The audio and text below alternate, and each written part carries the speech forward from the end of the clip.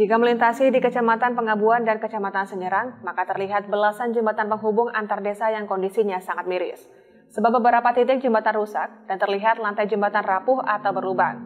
Warga pun berharap jembatan segera diperbaiki. Sudah seharusnya belasan jembatan penghubung antar desa dan kecamatan yang ada di dua kecamatan dibuat permanen atau beton. Sebab kerap rusak dan berlubang, karena jembatan penghubung tersebut khusus lantainya masih terbuat dari plat besi. Tahayal kerap rusak dan berkarat, bahkan berlubang, sehingga sangat membahayakan bagi pengendara, terutama bagi pengendara roda dua.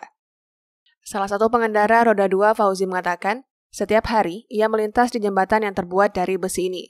Selain itu, diakuinya jika pun diperbaiki namun hanya seadanya saja, yakni lantai jembatan yang berlubang hanya dilas dan ditambah plat besi saja. Alhasil, tak mampu bertahan lama dan kembali rusak atau berlubang.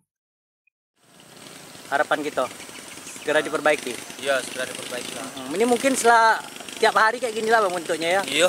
Tak walaupun rusak kadang ditampal kayak gitu be ya. Iya, ditampal kayak gitu. Tapi Be. sering rusak lah ya. sering lah. Ini berapa desa kalau kita ke situ nih? Antar desa kalau jembatan nih ke sana. Oh, jauh. Banyak banyak juga jembatan. Ada Banyak. belasan enggak jembatan nih kalau Iya, dihitung? Banyak.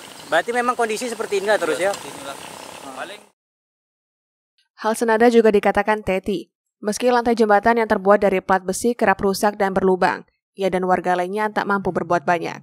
Sebab walaupun kerap dilas dan diperbaiki, dipastikan tidak akan bertahan lama. Harapan besar masyarakat, di dua kecamatan tersebut minimal lantai jembatan besi dapat dicor semen sehingga kualitas lantai jembatan akan bertahan lama.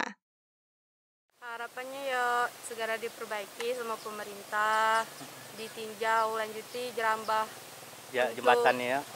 Jembatannya tuh ditengoki, dikontrol kayak mana untuk Segera untuk diperbaiki. rakyatnya gitu kan ini aktivitas untuk hilir mudik Masyarakat lewat sini terus lah ya. masyarakat di sini karena cuman ini jalannya selain jalan laut Dari Tanjung Jabung Barat, Adi Bastian, Baik TV Jambi, melaporkan.